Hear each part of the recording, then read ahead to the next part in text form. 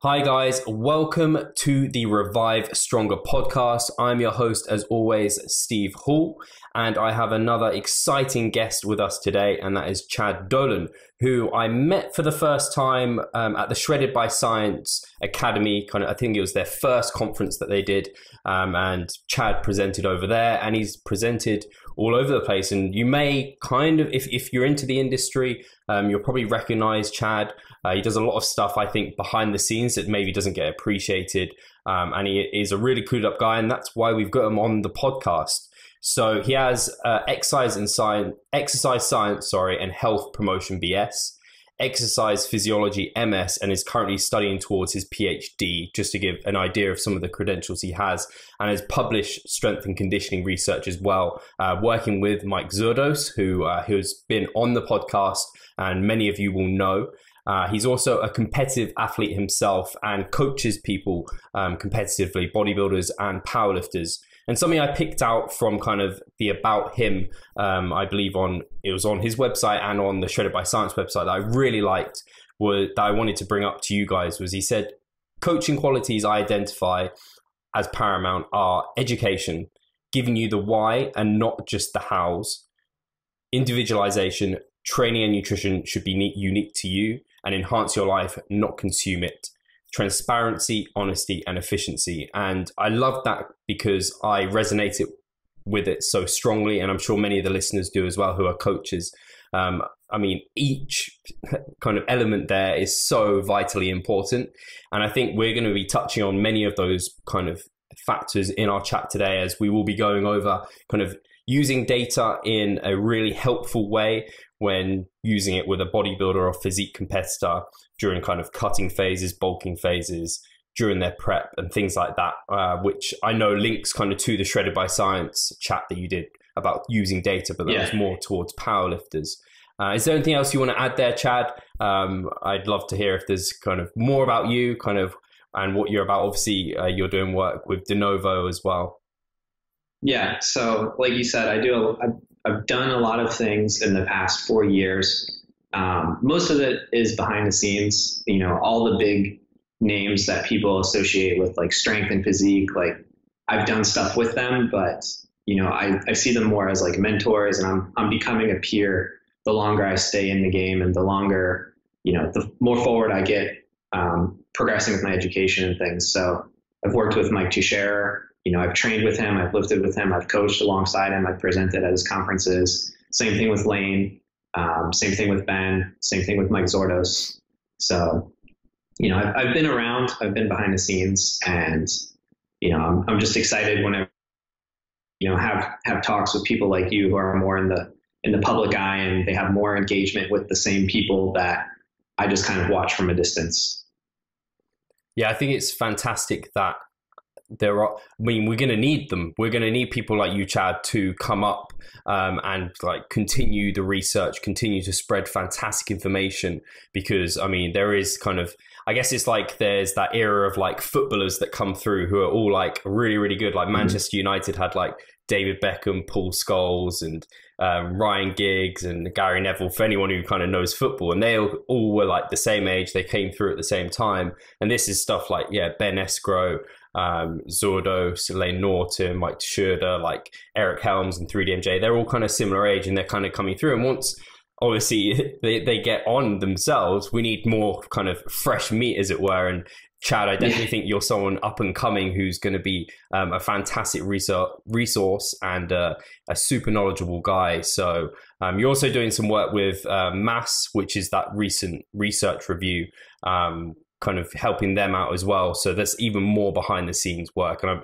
I'm sure our audience know about Mass, um, which is a fantastic research review that's kind of being done at the moment. So to kind of break the ice and um, I, I kind of I don't know why this question came into my head, but I was kind of just interested for myself. I was like, what can I ask that was really quite interesting to me? And I was like, oh, what kind of five key takeaways or lessons or kind of tidbits did you get from kind of studying under Mike Zourdos? Because he's an interesting guy.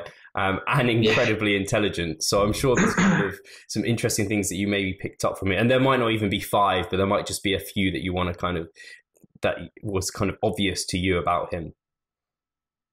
Yeah. So uh, we'll start. Actually, I'll start with what I've taught Mike because not many nice. people, not many people know, you know, that the student can teach the teacher. So I, I taught Mike that Coke Zero is amazing, and uh, he should drink more of it. And I've also taught him we have something called a chicken tender sub. And if you're not familiar with this delicacy, it's the eighth wonder of the world. But you take hot and fresh chicken tenders, you split open a nice baguette, you put the chicken tenders inside and whatever toppings you wish, and then you consume it, and it is absolutely amazing. Taught him that every Sunday is chicken tender sub day. You know, most people might watch football or go to church. I go to the deli, I get a chicken tender sub. Um, you know, so Mike and I have a really great relationship, and as you as you assumed, like he undoubtedly taught me the you know the most important things that I've learned in the past ten years, like in two years.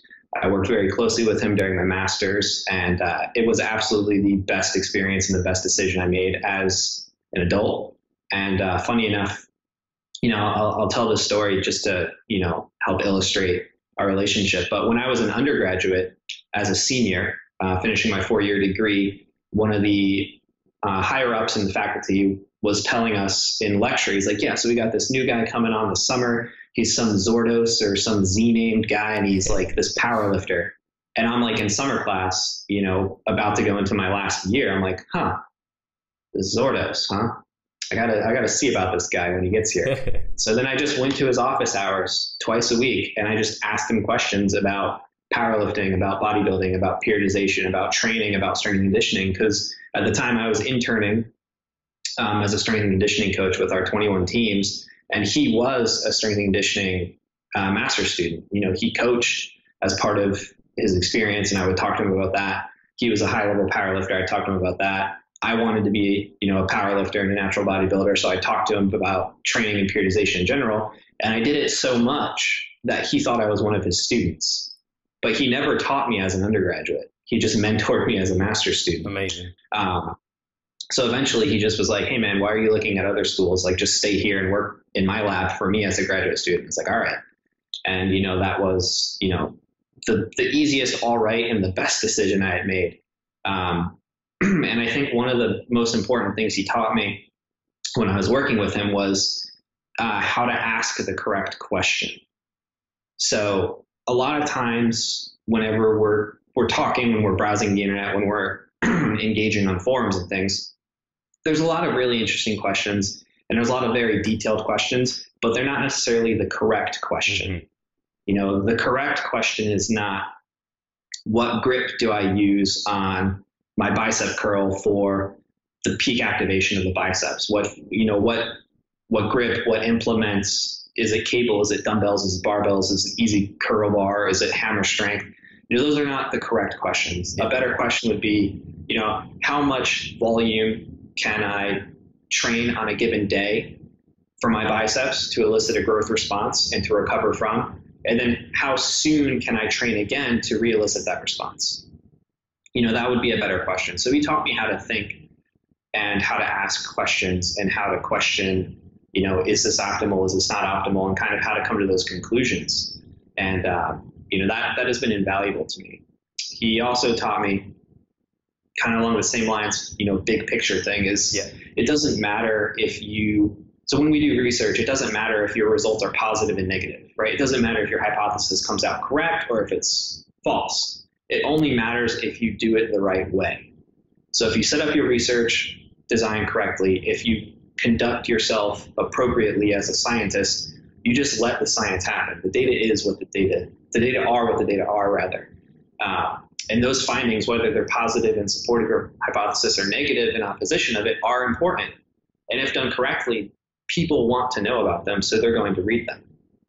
Um, hopefully, you know you'll be able to publish them, and they'll they'll be read, and it'll save other people time, and it'll help tell the complete story, not just part of the story.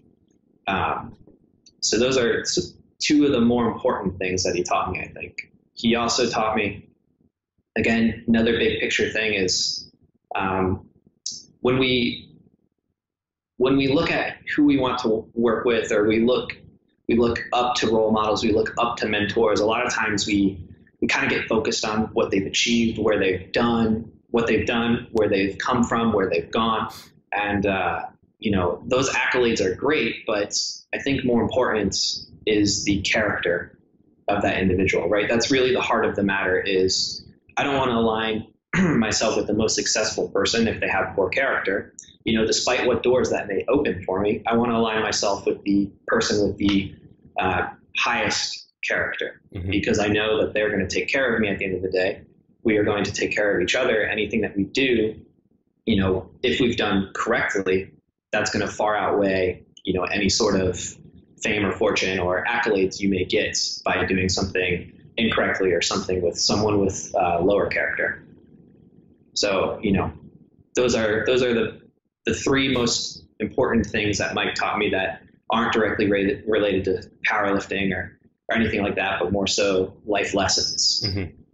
Yeah, I think that um, that bigger picture stuff is is invaluable, kind of just stuff to bring to people's eyes. I I think people can see it often with kind of with diet, uh, particularly like what's the best diet? Should I be doing Atkins? Should I do mm-hmm. paleo? Should I be doing kind of intermittent fasting? It's like, well, really the question is how many calories do you need to create a calorie deficit or something along those lines that yeah. bigger picture thinking you you as soon as you get into the industry and people who don't know any better they automatically go for those wrong questions. And it's quite frustrating. So for him to have taught you early on that you should be thinking bigger is yeah that's amazing. Um if do you and have another even, two things? Sorry. Well I, i'll probably come up with two more things but i was going to say i even taught he used to always open his classes with the idea of the big picture and ask, you know, say more or less like we need to think what is optimal. And you know, I think that's an excellent message, but I went a step further and instead of asking myself when I when I start consulting with a new client, when I plan my own training, or if I just help someone out on the side of the street, you know, that I hear talking about lifting weights, I don't think what's optimal, I think what is sustainable Yeah. right? Because it doesn't matter. I can design the most optimal program for my training level to get me to my training goals, but if it requires me to train 21 hours a week and I can only train 12, that's not optimal. That's an unsustainable program, and that's inherently bad. That's not optimal. So, what is sustainable? I have 12 hours a week. I need to make the most out of that, right? So then the sustainable program becomes the optimal program. Yeah. It's the same thing with the dieting. You know, I if you don't want to count macros, okay, fine. We don't we don't need to count macros. We can do a thousand other things to make your diet sustainable, and then it becomes optimal. Yeah. So, um, aside aside from those things, I guess some more some more science related stuff that he taught me, or or more practical things that he taught me. Um, well, he taught me how to lift weights, which is which ranks up there because it's one of my favorite things to do. um, you know, everyone everyone knows how to lift weights to some degree, but he he really taught me how to lift weights yeah. with a lot of proficiency. Um, so that that was excellent. And uh, one last thing, what do you, aside from Metallica is great and crunchy peanut butter, you're better off eating a handful of peanuts. And I'll always be a baby man. Like I can't I can't think of other things he's me, but those those are some some pretty big things. Um, some pretty good things. Those four. No, definitely, and and I think. I mean, when you've got someone like that to be a mentor, it's fantastic. I know myself, like, I like to think I have kind of several kind of smaller mentors, but I mean, for you to have actually been under his wing for like long periods of time, I don't think you can beat that. Um, and that's amazing. And now you have the opportunity to mentor other people and help them. Mm-hmm. So, like with your clients, you can pass on these skills and this knowledge. And doing these podcasts, you can pass on what you've learned and the new things you're learning, which I think is fantastic. And uh, yeah, I think a lot of people will envy the the position you were in, but it doesn't sound like you took it for granted um, in the slightest. So that's fantastic. Uh, and I think we can roll on to our main topic of discussion. Um, that is, I think, going to be pretty exciting and a really, really good discussion. And that is kind of data tracking for a bodybuilder or physique competitor. Um, and I think, should we start off with just kind of general nutritional things that you would get someone to track? And then that might develop into kind of different season, uh, off season, kind of competitive season, Sure. and then potentially that will actually develop into kind of physical components of their physique and uh, stuff like that. So yeah, nutritional things that you would be tracking from uh, online as a coach or even just as a in-person coach. So ideally, you know, nutritional tracking online would be someone filling out a spreadsheet that I've created for their um, carbs, fat, protein, fiber, and then calories are auto automatically calculated for us, um, or just sending me their MyFitnessPal. But not everybody's ready just to out of the gates track everything if they've gone from tracking nothing. So a lot of times, um, depending on if it's a general pop client or if, even if it's a strength or physique client, you know, that's not tracking as accurately as you might be tracking during prep, I might start with something like a food diary, a couple days a week, like take a picture of everything you eat, you know, if you can remember.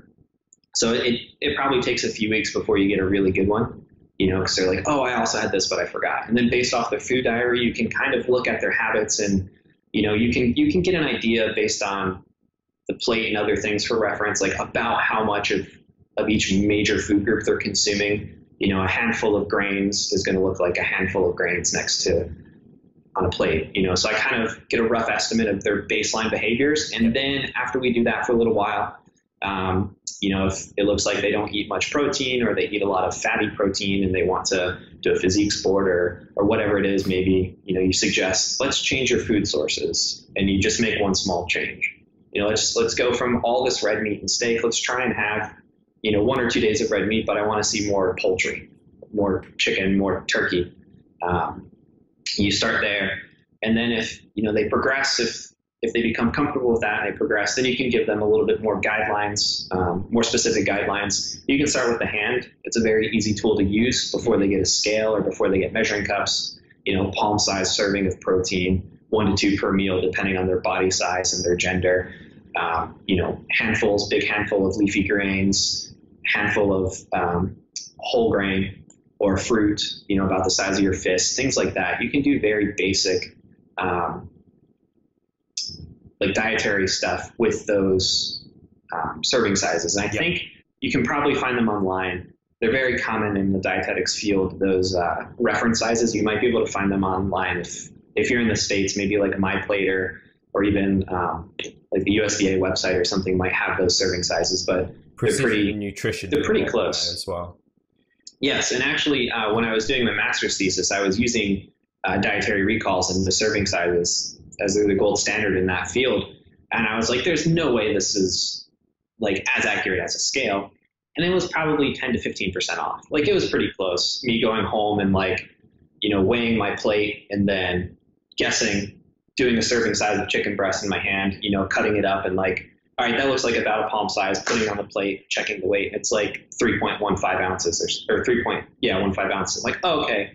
You know, I was pretty close. Yeah. Like doing the same thing with the grains, the nut butters. Like, I'm like, there's no way one thumb is actually like, I'm going to be able to get peanut butter correct. Yeah. You know, but you, you get pretty close. Yeah. And for most people not in a prep condition, you know, that's going to be good enough. Yeah. So going from maybe food diaries to basic serving sizes and portion control stuff. And then once they get comfortable there, then it's like, all right, let's start to like weigh and measure a couple days a week.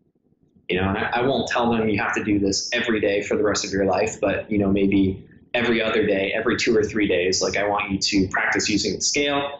And then as I get used to that, you know, we go through how do you measure a liquid? How do you measure, you know, yogurt out of a container and stuff? And it, you know, you have to explain to them you you can zero out the container on the scale and then take from the container and the negative number is, you know, you kind of you kind of coach them through the the procedures a little bit, and then once they adopt it, it's pretty quick, and you can get into the macros and calories. But you know, somewhere on that spectrum, you know, I'll I'll find the starting place, and then I'll go where we need to go. Yeah, I think a lot of us take for granted, especially kind of like me, you, and a lot of the listeners will be have done like macro counting for years and like doing the trick of yeah, weighing, zeroing it out, and then kind of using how much sauce you want to use, putting it back on, and then it tells you kind of oh you're minus this many grams. That's how much ketchup you've used on your plate. Stuff like that that just is obvious to us. Um, or the fact that like when you weigh out your milk in grams, it's the same as mils, for example, or something like that. We don't really need to kind of think about it. We just know how to track. Um, whereas I think when someone comes and they see it and they're doing it for the first time, maybe like you were saying, they don't know how they don't understand all of those things and they kind of get a bit lost. Whether it like another example would be like raw versus cooked those sort of elements. But assuming kind of someone's got all of those behaviors down, you're saying you get them to kind of you give them, I guess, a range of different kind of protein, fats, and carbs targets to eat on certain days, and you get them to track that. Do you track anything else for their nutrition? Um, can you say that one more time? I just, or let me let me try and clarify. So if okay, I'm yeah. doing this, the portion control, right? I'll I'll calculate their macros in front of me, and I'll Got be like, okay, if you know, it's 150 grams of protein, for example. How many three ounce servings of chicken do I need to to have them eat? And it's like, if it's five, right? It's like, okay, I need you to have five palm sized portions of lean protein. So I I give them, you know, their macros. I still do their height, their weight, their sex, um, their age. I still estimate calories based off of their energy expenditure, mm-hmm. theoretically, you know, and then I just take that and I go from macros to general serving sizes, and that's what we try and I try and coach them up to. And then once they cover their bases there, their habits are going to already fall like almost on the mark with these these numbers, all the macros I'm giving them, and then that helps that transition. Um, you know, it's a very easy transition for them because they're like, oh, I've already been doing this, right? I only have to make small adjustments here and there. Um, so then, can you can you clarify your question one more time? So yes, you've got say you've got them to this point where they are doing it via kind of food scale, um, and they're weighing out kind of their their meats, their grains, and all of these things to hit these numbers. Kind of, are you tracking these via? Are you giving people a range? Are you giving them okay. certain macros on certain days? Are you tracking anything else like fiber, water intake, anything like that? Um, it's kind of, I guess, then we might move into elements that you might track differently in like cutting or bulking phases or things you might change or even contest prep you might track certain things that you don't at other times? Yeah so typically um, i always use a range. Even if i don't explicitly give them a range every single time every discussion i have with my clients you know is get as close as you can to these numbers. Um, depending on where we are if they're a performance based sport competitor or a general population client, it might be, you know, as long as you're with about 20 grams of your protein and your carbs um, individually, like we're probably okay. And then try and keep it five or 10 with your fat. Or even, you know, if they're pure just weight loss or, you know, performance, I'll only set protein and then the remaining calories based on how they feel, we'll try and work out. Do you want higher fat? Do you want lower fat? Do you want higher carb? Do you want lower carb? Um, so it, everyone is individual, but more often than not, it's try and get protein pretty spot on, try and hit your fiber minimum. Um, fat and carbohydrates, you can kind of base that off of personal preference and base that off of day to day. Yeah. Um, a lot of times I have clients, even with myself, you know, your your social calendar can affect your ability to hit your macro targets. Yeah. And sometimes 10 to 20 grams like isn't enough of a you know, an insurance factor, if you will. If, you know, I plan, if I'm a low fat kind of guy, high carbs, and I know I'm going to go to an event and I'm like, okay, they're probably going to have X, Y, and Z at the event. So I kind of prepare for that ahead of time. And then if it's not there, do you just not eat your last meal? Or just like, all right, well, I know I need some sort of protein and then, you know, I can let the rest, as long as I'm close in the calories, it's, it's basically as good as it's going to get today. It's a wash. Yeah. You know, so if I don't if I don't provide those freedoms, a lot of times clients that are not even in prep are some of my more neurotic clients, and they're they're very very like, no, this needs to be perfect. Like, look, it's it's okay. Yeah. Like we can we can take a step back. Like you've checked all of these boxes. You're 90% of the way there. Like that's not going to make a practical difference. Um, so I try and I try and track as much as needed, and I try and track as accurately as required. Um, but a perfect world is to the gram macros every single day, fiber minimum met. Um, cool. Water and hydration is another thing. I don't have clients. I don't have clients track. I just try and. One of the things I do whenever we're in the habit building stage, or when we're in the, uh, you know, whenever we're first consulting, is you know, I'll ask them, you know, how much how frequently do they drink water? Do they find themselves thirsty during the day? Yeah. What are they drinking during meals? Stuff like that. And I try and just remind you know everyone to try and drink water with meals. Try and sip on water between meals. Try and sip on water after every set, um, because it is something that we overlook a lot of the times. Mhm. But it's another thing to track, and if you know at a certain point something's got to give. So if water tracking is the thing that breaks the camel's back, like unless we're doing a water cut for powerlifting, I'm not I'm not worried about water. Um, caffeine is another thing that some of my clients have gotten issues with. Mhm. Is uh, you know, a lot of things are exchanged um, via email in kind of like in a passing or a light manner, and it's like I've been sluggish, blah blah blah, five monsters this week and five bad training sessions or whatever, you know, Yeah. however they might tell you, and it's like, hey man, like we've been dieting a while, like where's your where's your caffeine intake at? Like, what are you what are you drinking every day? Like, give me a rough estimate. Do you have coffee in the morning? Do you have coffee in between meals? Do you have monsters?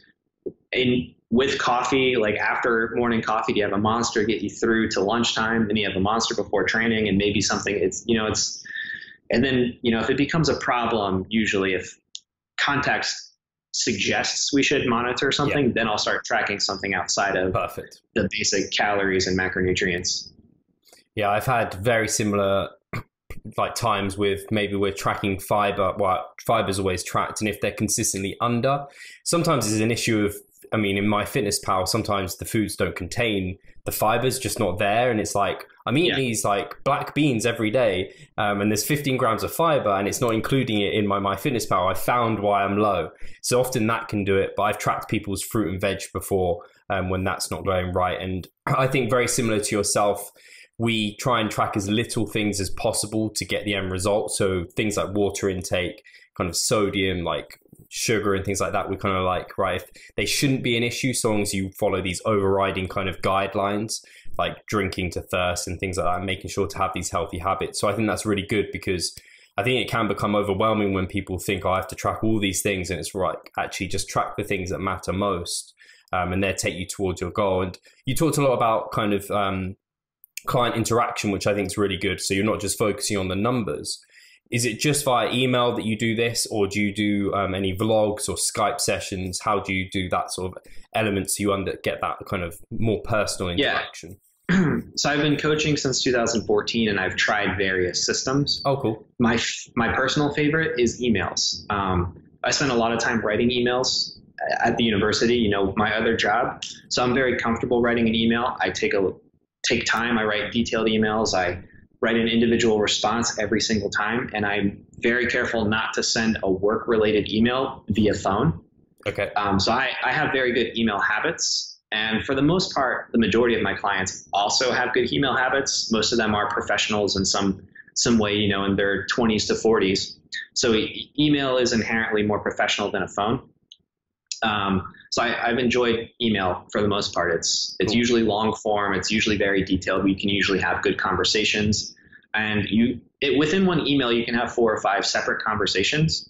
You know, if you ask them a question and it prompts them to have like a long response, and then you ask them another one and they get another one. So you get multiple conversations that are part of the same overarching discussion, but also separate at the same time. So I like email because it's very efficient for me and for most of my clients Cool. the issues with that comes from people who don't necessarily like emails or don't use a personal computer. Mhm. So um, most of my consulting is email and cloud spreadsheet based. So that runs into problems when I don't have people at a PC or a Mac or a laptop. Yeah. If they're on a tablet, if they're on a smartphone, you know, some of the formatting between a a Gmail app or a mail app, or you know, if it's third party or if it's whatever it is, can mess up some of the communication. And you also are more inclined to send a very short message from a from a cell phone, from a Yeah. smartphone. I don't want I don't want to type a five page email from my from my smartphone. There's too many errors. The screen's too small. Um, so I try. I never email my clients unless it's I'm traveling and it's just more or less a hey, I got this. On the surface, everything looks great, and I will get back to you when I have more time. Yeah. That's the only type type of email I try and send from a phone. Um, you know, and most of the time I try and ask my clients to respect that and also try not to email me from their phones or tablets. But if someone doesn't have a laptop at home, I'm not going to tell them you need to go buy a laptop. I'm just Yeah. like, okay, like just try try your best to give me like these courtesies, professional emails, long emails, enough information. Um, I've done the the 10 minutes, the rambly like personal vlog type Yeah. stuff on YouTube. And uh, when I first moved to Texas, I wanted to try that because I, I like working with people. I like face to face stuff. I like being in the same room. Yeah. And distance coaching is great because I can effectively be in someone's pocket or on their screen around the world. Yeah. But uh, with internet speeds in the suburb I was living in, it would take me hours to upload a Yeah. 20 minute video. So I was like, all right, guys, like I just can't do this. Like it, I wake up, I film five or six videos and it's uploading for 12 or 13 hours. Like I can't do anything else in the house. I literally have to leave because I'm going to drain the Wi-Fi and Yeah. it's not going to happen. I know Um, those feelings. So I've done those in the past and I really like those. And I don't think that I ramble. I mean, I think that I'm more concise over an email and I am actually a better Okay. conversationalist over an email because if I'm just trying to talk to myself and like talk to someone else, I'm going to start building and going down this rabbit hole of points that like if we're in a conversation, I'm going to see your eyes roll back or you just kind of get this blank stare and you're like, dude, you're you're going way too deep right now. Like you answered my question four or five sentences ago. Like let's let's talk about the next thing. Um, so while I did I did enjoy those, I I haven't done them as much recently. Right now, I try and um, just do a general update, like a face-to-face update with my clients, and I'll send out a group email, and it's just like, hey guys, like just want to check in with you. This is what's going on in my life. Um, you know, not to worry. You shouldn't experience this or that or the other thing with my services, but you know, life updates are kind of exciting, and I wanted to let you in on it. So I'll Yeah. send that kind of stuff to them, and then um, the more personal stuff is email. And so a couple of my clients, another system I've used is the um, Snapchat coaching. Oh, really? so- I've not heard of this. For powerlifting clients and bodybuilding clients, I've used Snapchat because usually you're with friends um, at those types of competitions, friends or family. Yeah. And um, one of my clients, probably the most consistent powerlifter I have that competes pretty frequently, she'll always send me her lifts via Snapchat. And I know, like meet day, I know to watch for Snapchat Mhm. notifications because I know this person's competing. We have a plan. They have full autonomy to do, you know, A, B, or C, and they just really want to kind of like, hey, what do you think? This is what I'm thinking, and then me to say yes or no. Mhm. So Snapchat, it's a 10 second video, and then I send them back a 10 second video, and there's no delay, right? It's real time messaging. Yeah. Um, and I get to see their lift, and I get to tell them, yeah, go with plan A or go with plan B. Um, and that's worked really well for me with powerlifting. And um, powerlifting, have you done a competition? I have, yeah, um, in Okay. 2015, quite a while ago. But yeah, I have competed. So you only get 60 seconds to confirm your next attempt. Yeah, So Snapchat is very, very good for that because it's it takes 20 seconds. You know, um, Facebook Messenger or uh, Facebook Live, the lift, and then the conversation like that seems to take a little bit too long for me, and okay. I don't like giving clients um, text message privileges because that's a very easy boundary to overstep. Yeah. Um, and Snapchat I barely use unless I know a client is competing. So like I might delete it in between, so Yeah. they can't really abuse that, right? Um, bodybuilding is another one. Whenever uh, backstage, it's some sort of video messenger. Snapchat's pretty good for mandatory poses, um, given the camera has decent quality and there's good enough lighting, and uh, you know, or posing routine over um, like the Facebook video the day before or the day of. Check in backstage and you know how's the the peak week strategy going. You know, are you are you flat? Are you over? Are you over? What's what's going on? And just kind of getting an idea of the conditioning with the Mhm. tan, with the suit on, with the with the lighting.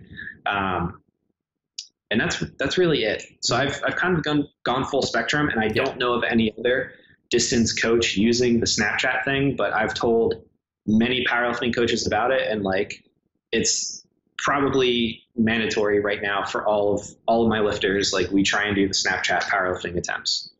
Really interesting. Um, I think similarly, I've tried various things. Kind of the written email format is what I started with, Um, and then I moved towards using the the vlogs, so the 10, 5 to ten minute videos and feedback, um, and that's what I've stuck with. Um, but I, I completely agree that sometimes the upload times and internet quality can kind of let you down. So I kind of kind of shift between sometimes some people email me some weeks, sometimes they want to do a vlog, so we do the vlog. Um, and yeah. we, found a system that works for that. Um, I do the same.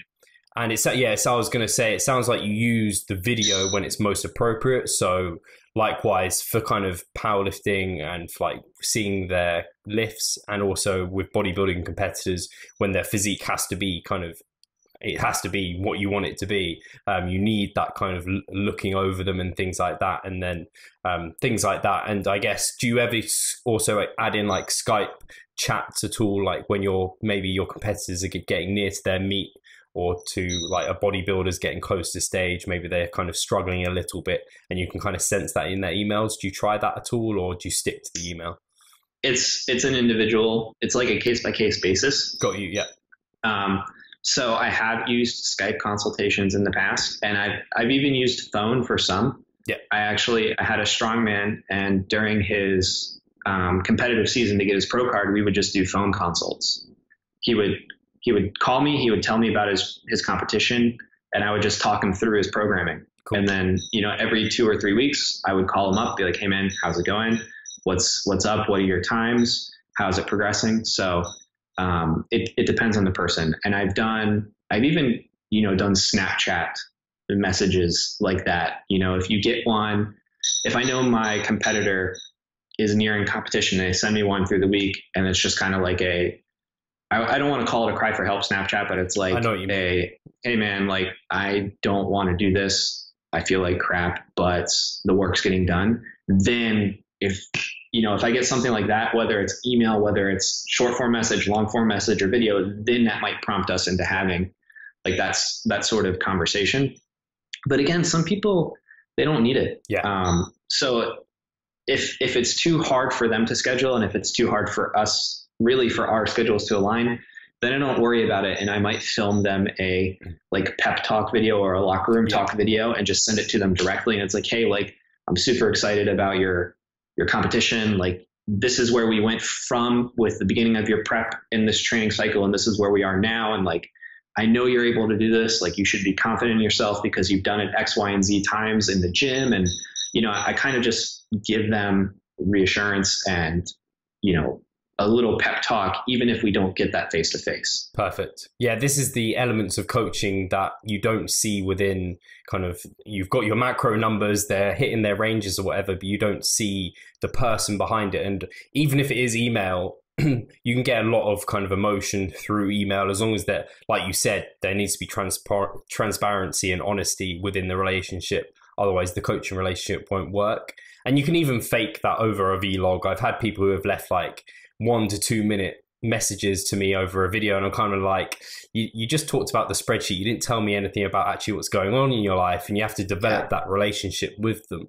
Um, so we talked about the macros kind of and the nutritional side. Do you get them to track anything else in terms of kind of maybe sleep or energy levels or anything along those lines as well? So that's ideal, but again, it's it's as much as they want to track and that nice. they can commit to tracking. So one one of the other things I do that um, reading through or flipping through the PN stuff, precision nutrition stuff, it was I made this um, like mind map almost, and it's like this is what I want to accomplish, like smack dab in the middle, and then there's like arms going out. It's like, what do I think I need to do to accomplish this thing. Okay. And then you have these bigger ideas. So if it's a powerlifting meet, you know, I want to do a powerlifting meet, and then up top it might be like make weight, it might be um, increase squat max, it might be fixed deadlift form, it might be fixed that or whatever it is, you know. And then from those secondary concepts, there's a couple little lines. It's like, you know, what do you need to do? What can you commit to making this happen? And it kind of, you know, goes from all these little specifics into the center and it's you know what are all these little things that you will do on a daily basis to make sure that we can achieve this big goal mm-hmm. so i'll have them do some things like that and you know based off of what they tell me they're willing to track what they're willing to to um, monitor like then we kind of you know say all right the sheet has room for your body weight every day it has room for your fats carbs um, protein, your fiber every day. It has room for your sleep every day. It has room for how you're feeling energy wise, your motivation, your stress levels, any sort of comments or notes to me, and even your body temperature and the hours of sleep you get. Um, so I, I, have all these things, and you know they're they can track them all year if they want. But if yeah. we start to run into problems um, with training, usually you know during powerlifting preps or during bodybuilding preps or even hard training cycles, if they start to run into issues, then I'll be like, okay, I know we haven't been doing this, but you've you've mentioned having like poor training a couple times. Like, you know, let's let's take a look at, you know, rate your sleep quality one to three. Cool. You know, one is broken or uneasy sleep, two is kind of normal, three is like a rock or a baby. And then, you know, let me know how many hours you're sleeping, or let's let's take a look at how many hours a night you're sleeping. And then, you know, if there's some sleep disturbances, then I'm like, okay, what's going on? Like, I know you're stressed, but you know, you're a competitive athlete or you're you're a driven person, so you're not that's not abnormal. Like yeah. if you're if you're doing this kind of thing, you probably get worried about certain things and you you you know, you, you drive yourself insane a little bit depending on what the the context is. So I'm like, all right, I don't care about the meet prep. Like what what is it what is the meet prep stress actually doing to your other behaviors? So that's when I'll be like, how much caffeine are you consuming? Yeah. Are you eating close to bedtime? Are you like, are you doing anything abnormal out of your normal daily routine? Then usually, you know, if it's not just stress related, it might be, oh yeah, like I've, I've just been feeling fatigued all the time. So I'm drinking coffee all day long. And I usually have last, last cup at 4 or 5 p.m. It's like, all right, well, maybe that's not the best idea. Let's try and stop having coffee at lunch you know, and it, it kind of it kind of uh, leads us down the road to finding what's mm-hmm. what's actually causing the problems. And to do that, sometimes I need to have them track things that they wouldn't otherwise be willing to track. Mm-hmm. Um, bad training and poor sleep. I also have them look at body temperature because sometimes, um, if they know their normal body temperature, even if, even if there's some fluctuation or if it looks weird, um, you know, they might not be sick as a dog, but it might be like, oh, I'm running 100. That's weird like I'm tired, but you're not hot enough by the hand to know you have a fever, but you yeah. might have like, you know what I mean? So again, it just depends. And I'm not saying like I can predict a fever or a sickness, but if you have bad sleep and you're tired all the time and your body temperature looks high or low um, compared to the average, it's like, all right, let's let's just take it easy this week and let's let's try and find out if you know we're pulling too hard or whatever it may be. Yeah, I think so. I, I track I was gonna say I have so many things available for tracking yeah. built into the tables and the spreadsheets, but what we actually fill out is is client by client basis. Yeah. I hardly ever fill out my my tracking stuff aside from my training numbers. Like I look at my body weight every morning. I look at my app for my calories, but I don't consolidate it. And I might, you know, every once in a while go and like just I'm gonna type everything in for the last 50 days. Yeah. And like, you know what I mean? So if I can't hold myself accountable, I'm not going to ask clients to track their, you know, sleep, their body temperature, their motivation, their energy, their desire to train, and like everything else every single day if like I can't be bothered because my life is busy as well. Yeah. No, I certainly I can see that and it's kind of like I love Andy Morgan's quote of like, without data, you're blind, but it's kind of like, how much data do you really need? And both me and Pascal love data, and it sounds like you absolutely love data. So we have things like, even, I don't, you didn't mention it, but I imagine step count might be something that comes into oh, that's, I was going to talk to that, talk to you about that because um, we've spoken a little bit about dieting, but I actually, I use step counts. Um, some research I did recently was actually on physical activity. Oh, very cool. Uh, the amount of steps per day, and then you know whether it's all in one big like 10,000 step bolus or if it's 2,000, 2,000, okay. 2,000, 5,000. Like we're looking at steps, the amount, and also the frequency or the pattern and how it relates to health. So I've be I've become more aware or more interested in step counts, and Fitbits are more popular. Yeah. Uh, you know, your phone has a pedometer on it. Yeah. And from what I can tell, when I was piloting and wearing the actual research grade pedometer, my Fitbit was 10 to 15% off compared to the, the one around the wrist compared to the actual research grade one around the ankle. And the watch, I'm sorry, the uh, phone is maybe 20 ish mm-hmm. percent off because it's not always in your pocket. Sometimes it's, you know, on the table. So the phone was usually lower by 10 to 20%. The Fitbit was usually higher. And then the actual count from the you know the research one is in the middle. Yeah. Uh, so I've be I've become increasingly interested and aware of and help help to make my clients aware of the steps they're taking per day. Cool. Uh, 7,500 is considered uh, pretty active. Over 10,000, 7,500 is approaching active. 10,000 is active. 12,500 is very active. So as long as they're above 5,000, you're not necessarily considered uh, sedentary, and that can help you. You know, I, I don't just look at the weekly average. I'm sorry, the daily average. I also look at the weekly average because I take 16 to 20,000 steps a day on the university. Yeah. If I'm on the university at 9 and I stay until 6 or 7 p.m., I'm probably going to hit somewhere between 16 and 20,000 steps that day. If I don't go in until lunchtime, I'm going to be above 10,000, maybe around maybe around or below 15, and then on the weekends, usually around 8. Cool. So I look at my overall weekly average, Yeah. you know, and I'm like, okay, I'm still active. Like I'm doing a lot of physical activity Monday through Friday. You know, maybe less on certain days if I do half days, and not too much on the weekend if I don't go train or I don't make it a point to walk around the city. Um, and that helps me pick and estimate caloric um, maintenance and how physical activity is actually going to affect things. And you know, that's valuable information with prep, whether it's for bodybuilding or powerlifting. Yeah, definitely. And I was going to say we. It's one of those ones where we sometimes get people to track it, sometimes we don't. Again, it becomes a client by client basis. If they're in prep, like you said, or dieting, some people are kind of those neat freaks and they do loads, and the diet won't impact them. Whereas other people will be like they adapt very hard to diets, and you'll see it in their step count, and you can be like, right, we're going to keep you accountable, try and hit a 10k average per day. Um, so yeah, it, I mean, it's it's become another element of tracking and data that's become really really handy. And I think, like you said about the accuracy thing, would you agree that? I guess as long as the Fitbits are kind of consistently inaccurate, at least that's Yeah. something to base kind of your recommendations off and how you're tracking things. Yeah, exactly. Um, you know, and with anything, everything we do is an estimation, more or less. Like we can count our calories, we can weigh and measure everything, but the scale is still subject to Yeah. error. Um, you know, you're still subject to error. The app is still subject to error. Like we're, we just want consistently inaccurate inaccuracies. Yeah. You know, because that's going to give us the best, the best picture we can get. Um, so yeah, you're absolutely right there. And actually, talking about that, some people, went with their nutrition, and I'd be interested to hear what your approach is with this. Um, they maybe don't count leafy greens, or maybe some of them don't count any vegetables or like diet things um, and like chewing gum, stuff like that. What degree do you get people to track to? Does it vary? Kind of maybe if we take like a contest prep person versus someone who's just a general pop client. during prep, everything.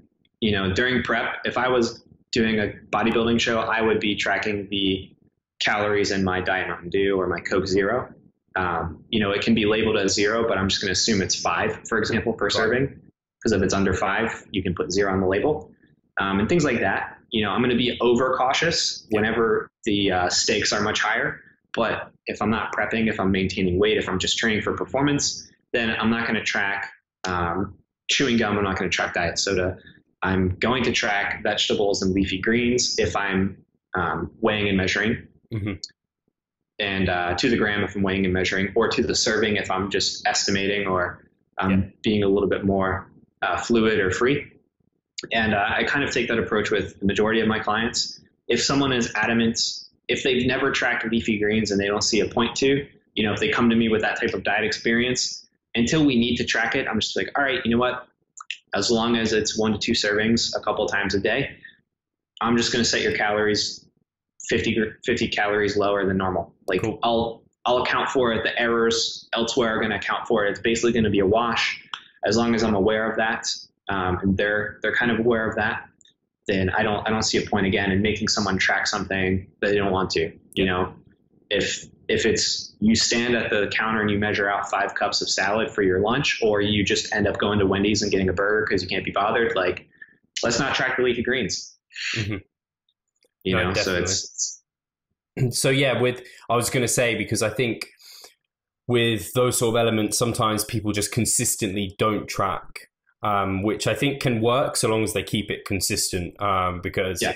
Like when you're dieting, no doubt you increase like your calorie free items and you increase your vegetables over time. So I can see why you would uh, track as much as possible when you're dieting um, because w- why wouldn't you? It just helps kind of alleviate any issues that could possibly crop up. Mm-hmm. Um, and we've probably got some time to tr- talk about tracking elements of programming of training, which is probably a bit more kind of known to people, the elements of their program they should check, uh, track even. Um, but if you want to kind of briefly go over kind of what you're looking at mostly as a coach for your clients on a kind of week to week basis when they're checking in with you. Um, so not related to training, but just related to things overall. Is that what you're? Um, yeah, let's go with things overall, and then maybe we'll delve into specifics. So overall, um, I've actually transitioned from a mandatory weekly check-in to a. So I used to have mandatory Saturday morning check-ins cool. um, before 8 a.m. my time because I might want to wake up early and start working and you know be able to rejoin my family and friends by noon. But, you know, sometimes all the time if i'm at the desk working and someone checks in late like i just keep working yeah so that can be that can be a very dangerous cycle because i'm not protecting my time and i'm not i'm not rewarding people that do things correctly and punishing i don't want to say punishing but you know like i'm still giving service to those people that are not following the rules but it you know there was no checks and balances system have to so. teach them how to treat you sometimes Right. So instead of, you know, always doing that, you know, even if I get something a day late, I'd be like, ah, you know, they're like, I got to do it. Like they're, they're my client. Me. You know what I mean?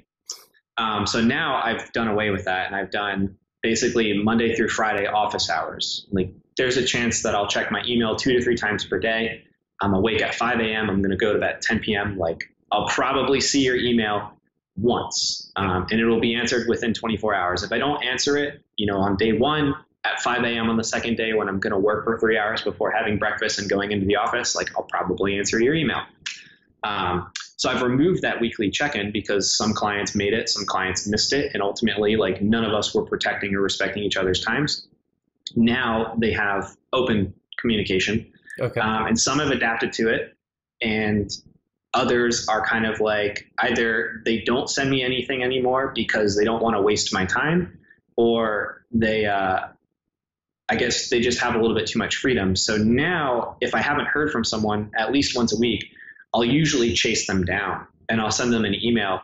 Like if I wake up with an empty inbox and I'm, you know, looking through the past couple days, I know I've talked to you, I've talked to you, I've talked to you, haven't heard from this person, and I'll look at, you know, their clouds cloud uh, data or I'll look at something else where I'm tracking their data. I'm like, they've actually missed a workout or two. So then I'll say, hey, like, haven't heard from you.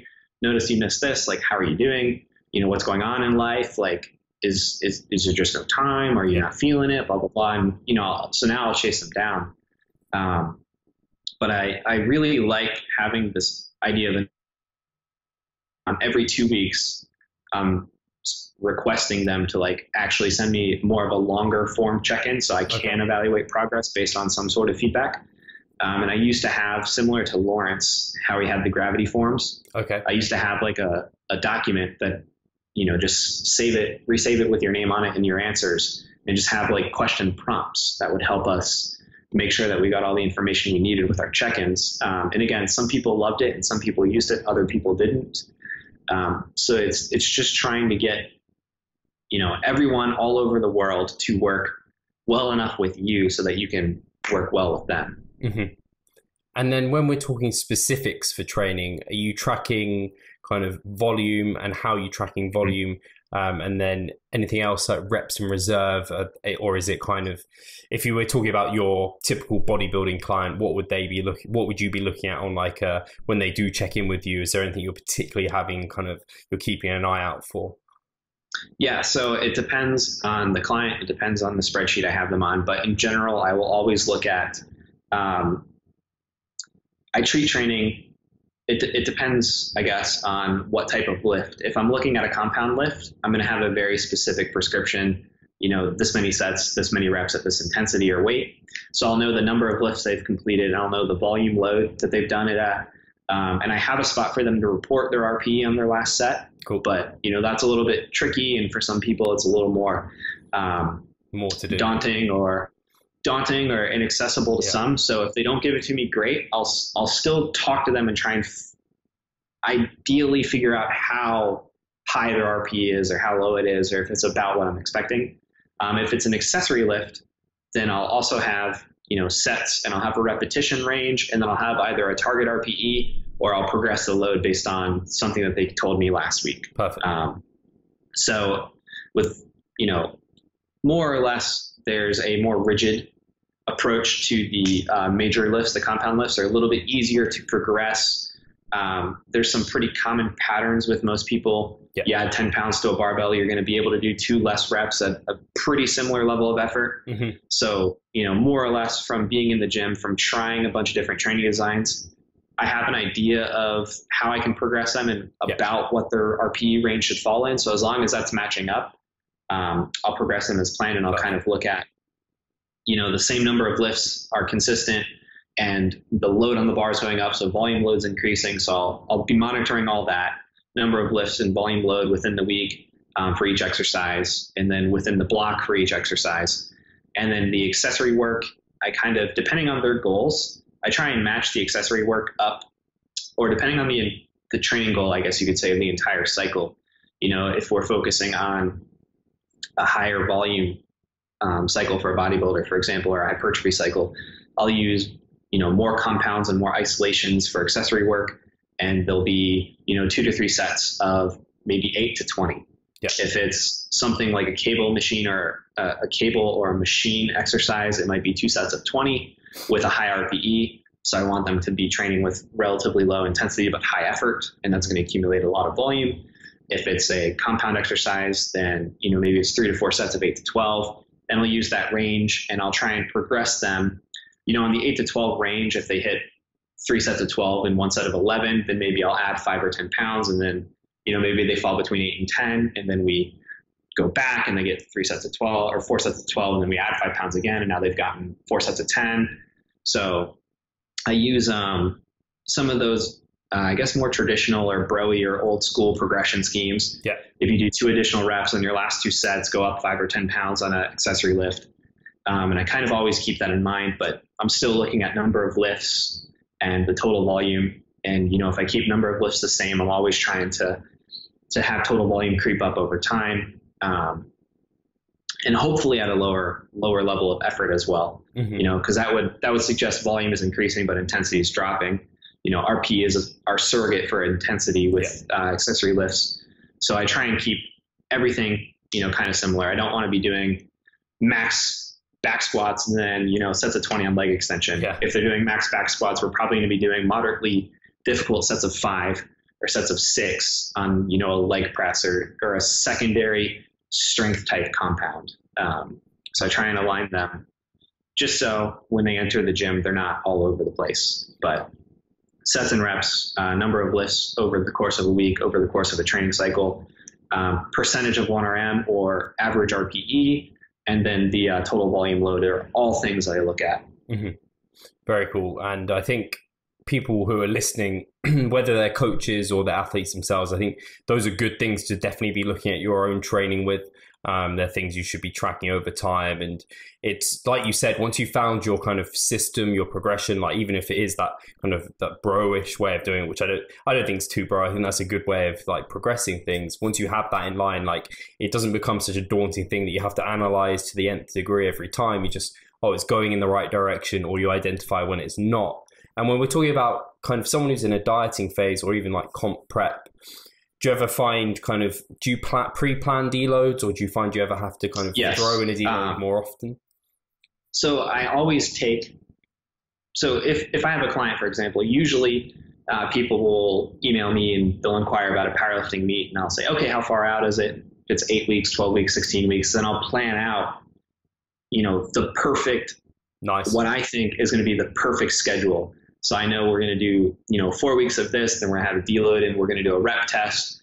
Then we're going to estimate 1RMs. I'm going to do an intensity block and make sure that those are actual, you know, not just this estimated 1RM off of a five rep max back squat, but that we can actually squat that. And then we'll do a, a competition prep block and try and push it a little bit higher. Mhm. Um, so I do that with all my clients. Uh, General Pop is a little bit different. It's um, they're they're larger chunks of time, and it's usually, hey, I want to lose weight and I want to see my abs and do this and do that and the other things. So it's kind of like, all right, I know for at least four to eight weeks we're going to be doing like our basic. I'm just going to get you in the gym. I'm going to get you strong. We're going to focus on building up strength, and then we're going to focus on, um, you know, the the pump work, the toning um, that they're expecting. Yeah. But I, I need to make sure that they're on board. You know, they've bought into laying this foundation and you know usually this is where conversations about you know the long the long game the big plan. If you're stronger on your back squat in four weeks you're going to be able to have nicer looking legs in 12 because you're going to be able to train with heavier weights and get a bigger stimulus and x y and z. So i, I try and i try and you know not hide what i'm doing but i try and say look this is how i want to do it because this is what i believe will give you the best results and this is the various levels of evidence that I have to suggest that. And mm-hmm. then, you know, if, if, they ask me for studies, like I'll send them studies and I'll, I'll talk to them. I try, I try and, you know, not just send them studies, but send them like a brief outline. You know, it's like, oh, this study showed multiple sets were better than one set to failure. And it's like, okay, so this is, this is what it showed, but this is why. Yeah. And then I'll try and give them some examples and explain why so that they, they don't just see, oh, this guy does science, but they're like, okay, like he can talk to me like I'm a normal person and try and try and help break it down. Um, and then they actually understand it. Yeah. No, definitely. And I think with everything you've talked about, it and it's very much it comes back to my statement at the beginning where you're talking about education so you're not just giving them the why, the hows and you're also giving them the whys so that you can kind of teach them to fish as it were so they can do it for themselves and they can become kind of self-sufficient as much as possible which at the beginning is like it's a harder job for you it might seem but towards the end it becomes an easier job because then you can we can move to more advanced things and stuff like that and i think actually mm-hmm. our whole discussion has been kind of really encompassing your entire statement and talking about transparency talking about individualization education and all of those elements whilst using all of this data um, and really kind of allowing your clients to realize what the importance of the data is and which is most important for you and picking and choosing things at the appropriate time. So no, I think it's been a brilliant discussion. I think the audience hopefully yeah. will take a, a, ton away from it. It's been yeah really interesting to hear kind of the things that you're focusing on and how you get the most out of your clients. And I just want to yeah say a massive thank you for spending the time chatting with me and um, yeah thank you so much. Absolutely, I've really enjoyed you know being able to come on and chat enjoyed listening to the podcast and seeing you in Shredded by Science and everything. So if I ever make it back to the UK, we'll definitely have to lift some weights. Oh, you definitely will be making. I'm sure Luke will be throwing another conference or something. So you've got to come to the UK, or if I go to the States, because um, I love America. Um, it's like one of my. Well, it's literally my favorite place to visit. So um, I hope everyone has enjoyed it, and I think if you have got any questions, kind of that have been prompted from this discussion, um, I mean, I don't know about you, uh, Chad, sorry, um, but I'd love to kind of get you back on if there were kind of multiple questions oh, yeah, absolutely. from this chat because I think we've touched on a lot of kind of surface stuff, which is really interesting. But I think we could there'd be some in depth stuff that I think we'd be, be able to really like delve into, and you'd be able to really help. Yeah, absolutely. Um, I didn't even realize, you know, basically an hour had already passed. I yeah. was I was just like starting to warm up. I'm like, all right, like there's so many things to talk about now. Yeah. But um, yeah, I think uh, you know maybe some case study type discussions or cool. or things like that, looking at our own training histories and talking, you know, from like coach to coach level, like, you know, what would you have done in the situation? That would be really fun, and I would really enjoy that. Awesome. Yeah, I mean, guys, if you'd be interested in that, definitely comment.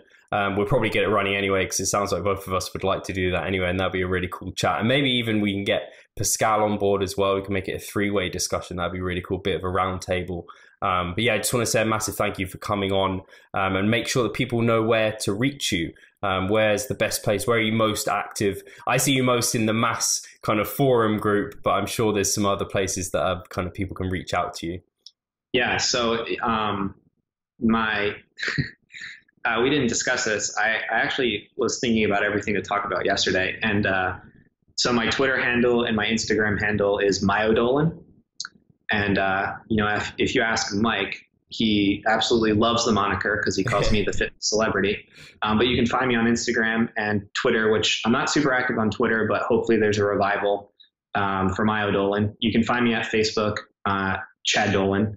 I have a website for my LLC, my coaching company. It's myogenictrainingsystems.com.